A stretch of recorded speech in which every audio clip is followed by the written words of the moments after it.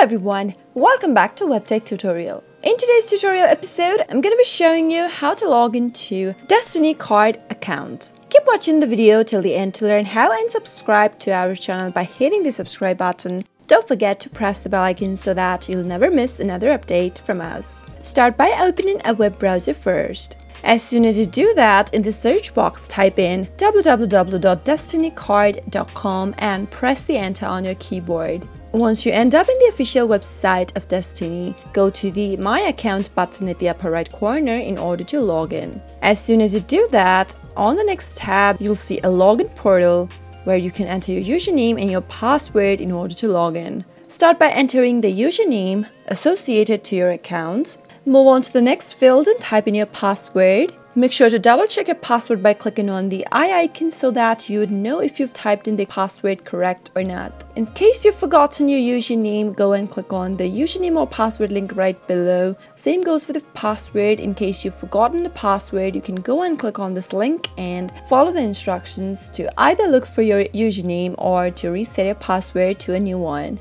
After you're done, click on the login button and you'll be logged into Destiny Card account in no time. I hope the tutorial was helpful. If it was, go ahead and give it a thumbs up. Feel free to comment down in the comment box if you have a question or a feedback for us. I'll be back soon with more tutorial episodes. Goodbye till then.